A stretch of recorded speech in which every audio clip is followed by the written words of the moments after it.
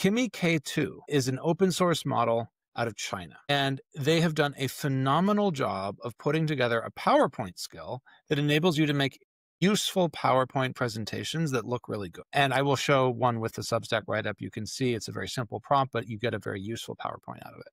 That being said, because of the where the data is located, you cannot really use this in the US or the EU for corporate data.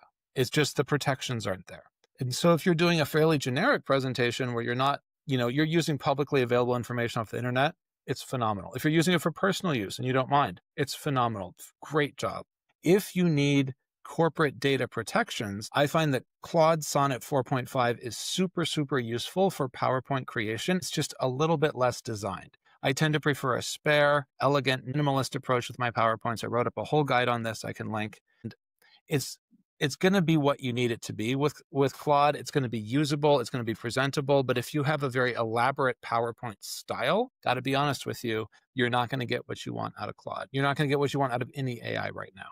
The AIs that are doing the work with PowerPoint either have fairly strong preset styling or they're very clean and minimalist and elegant. One thing I will call out is I do not use Kimi K2 for thinking.